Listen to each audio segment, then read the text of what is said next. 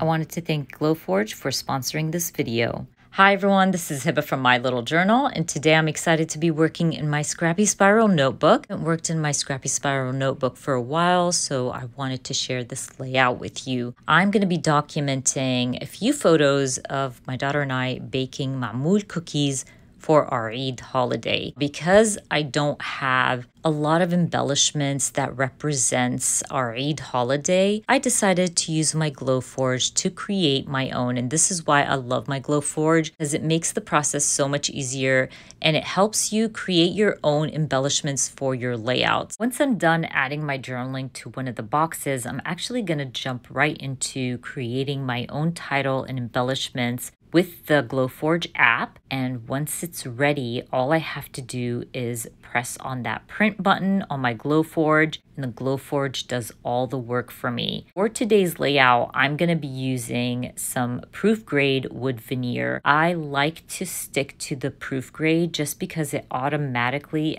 sets the settings for you and you don't have to worry about out the settings yourself. Also, the wood veneer is thin enough that it doesn't add a lot of bulk to your pages, which I really love. And it's sticky back, so that's even an extra plus for me, just because you don't have to use glue and tape and all that stuff, if especially if you're working on something very intricate. You don't have to worry about like adding the glue in certain spots on your project. Anyways, I am just gonna let the Glowforge do its thing and cut out all the embellishments for me. And once it's done, all I have to do is grab that sheet of proof grade wood veneer and start removing the top layer, which is a protective layer on all their proof grade material. I've never had a problem removing that layer off of my embellishments, but I have seen people use tweezers. Some people use some tape to remove the whole thing off of your embellishment. But for me, my fingers have worked fine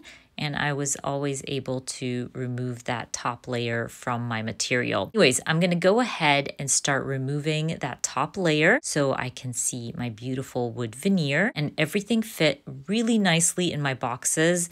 I did measure uh, through the app and it's very easy to use the app to measure your titles and your embellishments and kind of see how they're going to fit into your layout. And like I mentioned earlier, the wood veneers has a sticky backing, so I can just peel it off and add it to my layout.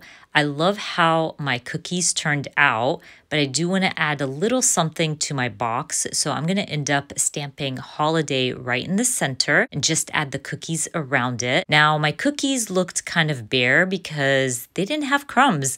So what I decided to do was stick down the cookies and then just draw out my own crumbs. I could have totally made crumbs using my Glowforge, but I totally forgot about it. So I'm just gonna basically do it the old fashioned way and use a pen and marker.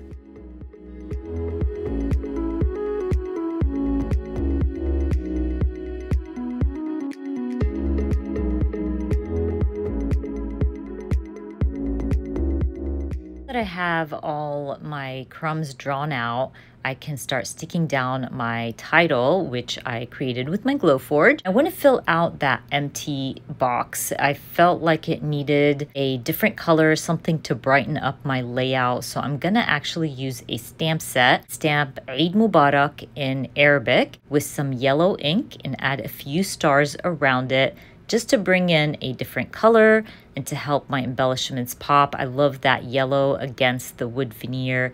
It just fit perfectly.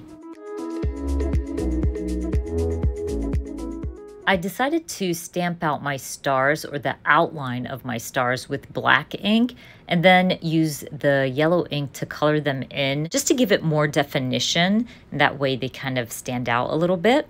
I also wanted to add a little something to my top left corner photo.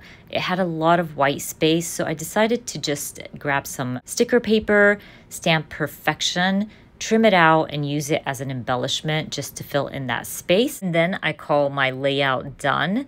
Don't forget you can grab your own Glowforge from your local Michaels or Joann.